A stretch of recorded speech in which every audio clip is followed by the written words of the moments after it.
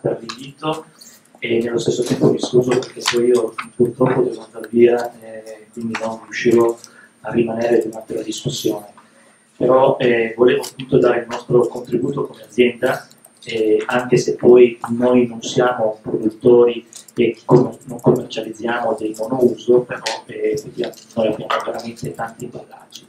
È un'azienda che si è diversificata tantissimo in questi ultimi anni e di conseguenza i materiali che vengono utilizzati sono diversi, che vanno da materiali, chiamiamoli tra virgolette semplici come una plastica monolevia, a materiali un po' più complessi, a dei poliaccoppiati, poliaccoppiati di carta e, e così via. Quindi è un'azienda che per stare sul mercato e per dare garanzie e sicurezza del prodotto alimentare e soprattutto per garantire determinate chip life ha bisogno di determinate tipologie di packaging. Questo è una, una, partenza su cui dobbiamo basarci tutti quanti, perché la, le, tutto quello che eh, poi sono le sentenze, quelli che sono eh, i decreti, chiaramente a volte eh, purtroppo non fanno riferimento a quelle che sono le esigenze non tanto dell'azienda, ma io dico del consumatore finale, perché stiamo parlando di un consumatore. Io se faccio un latte fresco e lo conservo in una bottiglia, è chiaro che so che devo avere un packaging per conservarlo con determinate caratteristiche. Quindi abbiamo bisogno di caratteristiche da parte di quella bottiglia, in questo caso di questa plastica. Se faccio un prodotto eh, UHT, io adesso parlo di prodotti che hanno una cifra molto più lunga, chiaramente posso fare più riferimento a un materiale plastico che aveva una shelf life di 7 giorni, questo è chiaro. Quindi o io so che il mio prodotto per dargli una shelf life lunga lo conservo in determinati eh, chiamiamoli contenitori lato packaging che mi dà garanzia, altrimenti rischio di non portare quel prodotto alla sua shelf life. E cosa subentra? Subentra un altro problema in Italia, no? di cui se ne parla tantissimo, che è lo spreco alimentare. Quindi noi dobbiamo cercare anche di mettere insieme questi profiloni. Quello che può essere una riduzione della plastica, una riduzione dell'imballaggio e dall'altra parte però utilizzo meno di imballaggio, perché questo si parla, ma sono cose che, su cui io non sono così tanto d'accordo, però dall'altra parte c'è una tematica grossissima che è quella dello spreco alimentare. Adesso non parliamo di spreco perché i numeri sono veramente molto importanti anche sul tema dello spreco. Cosa ha fatto la nostra azienda? La nostra azienda si è posta un obiettivo nei prossimi, nei prossimi anni, nell'arco dei tre anni, che si focalizza esattamente su quattro punti. Il primo punto per noi significa comunque riduzione della plastica. Riduzione della plastica è intesa nel senso che dove è possibile noi dobbiamo cercare di ridurre. Se c'è un prodotto che ha un suo peso e ha una sua quantità di plastica, l'obiettivo dell'azienda è quello di ridurre quel quantitativo di plastica. Esempio classico, l'azienda parte nel 99 con una bottiglia di plastica del latte con un peso di 28-29 grammi, così anche tutta la parte della concorrenza. Oggi stiamo lavorando a 22, siamo prossimi ai 21 grammi. Quindi abbiamo fatto già delle cose e nella politica aziendale non a fronte di queste problematiche, di questi concetti mediatici che sono venuti fuori. Sono cose che già l'azienda ha nella pancia.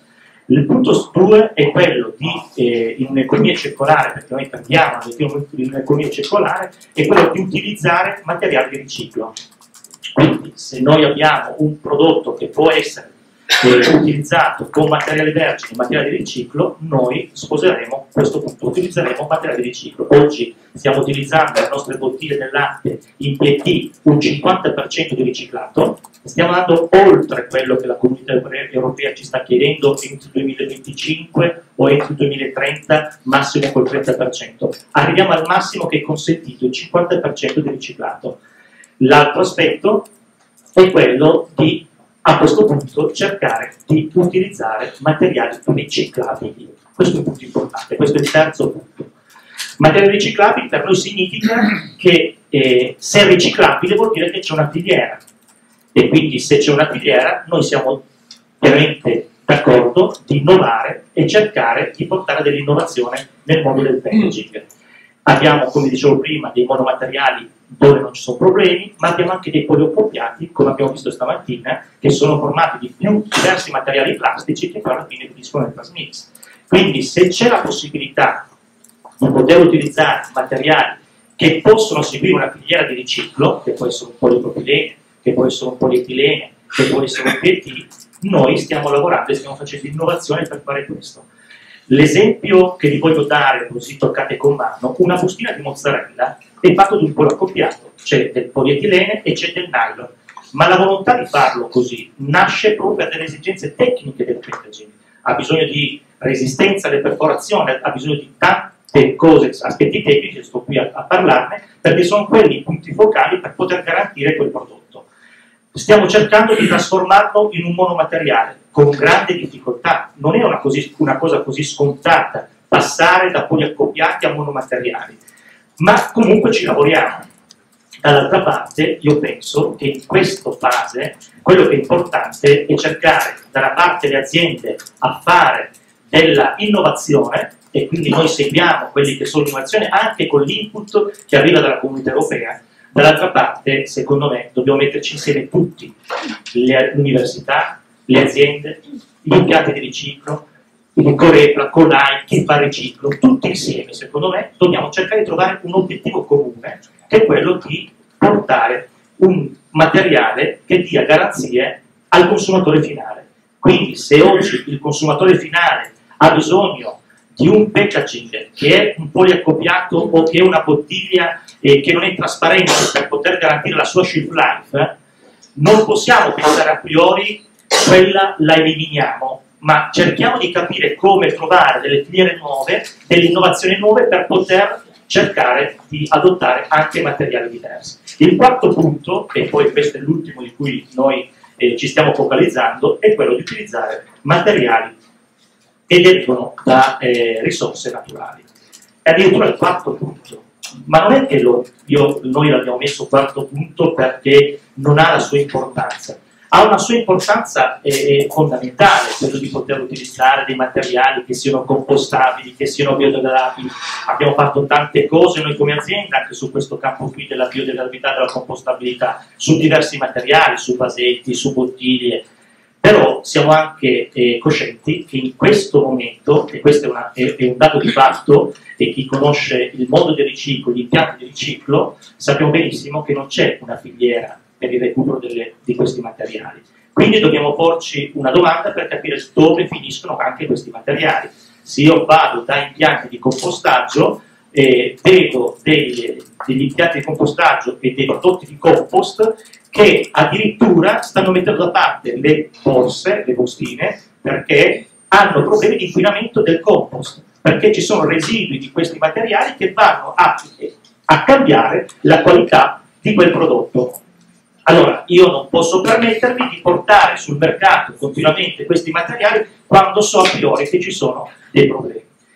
E purtroppo però eh, c'è dall'altra parte una parte eh, governativa che ci mette anche una, una tassa e alla fine eh, incomincia a dire io ti tasso la plastica, la, la tassa viene data eh, solo su materiali plastici, non vengono compresi le bioplastiche, eh, siamo riusciti, grazie alla collaborazione che ci, hanno, che ci, ha permesso il Ministero di partecipare, il nostro Presidente ha partecipato ai tavoli di questa eh, Plastic Tax, per cercare di eh, trovare delle vie un po' diverse rispetto a quando è partita un euro al chilo sulla tassa, su, come tassa sulla plastica. Noi avevamo posto diverse soluzioni, purtroppo però chiaramente non tutte sono state prese in considerazione. Però almeno quando ci siamo battuti sull'utilizzo del riciclato, dove la comunità europea ci dice facciamo economia circolare, noi siamo per l'economia circolare, se utilizziamo del riciclato e, e un'azienda deve essere, se è virtuosa, bisogna anche fermarla per,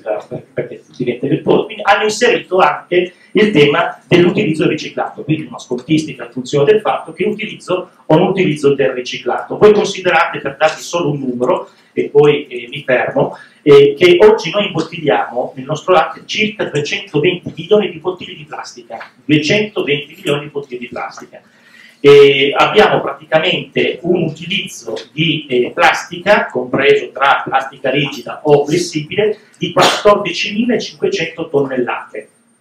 Quindi considerate che tutto questo materiale un materiale di packaging che comunque a noi serve per poter confezionare i nostri prodotti, con una spesa che è intorno ai 67-70 milioni di euro di spese sul mondo packaging. A questo si unisce adesso questo questa tassa a cui noi dobbiamo considerare su questi numeri di, di, di volumi di materiali che non sono la nostra scelta ma per esigenze a volte di prodotto, comunque andiamo a, ad incontrare dei problemi che comunque vanno eh, in, eh, a interferire su quello che può rappresentare poi un fatturato dell'azienda. Quindi il tema, eh, penso che eh, quello che volevo dire eh, sicuramente abbiamo bisogno di riflettere molto dal punto di vista eh, giuridico su quelli che sono aspetti tecnici e spero che eh, ci siano sempre di più delle organizzazioni come queste platee, come questi incontri o come altri che spesso si, ci sono a livello nazionale, che mettono insieme persone che possono parlare di economia, e di aspetti tecnici e quindi da lì far uscire fuori delle considerazioni che ci permettono poi di poter eh, affrontare il mercato senza avere poi delle problematiche di, eh, finanziarie. Grazie. Grazie.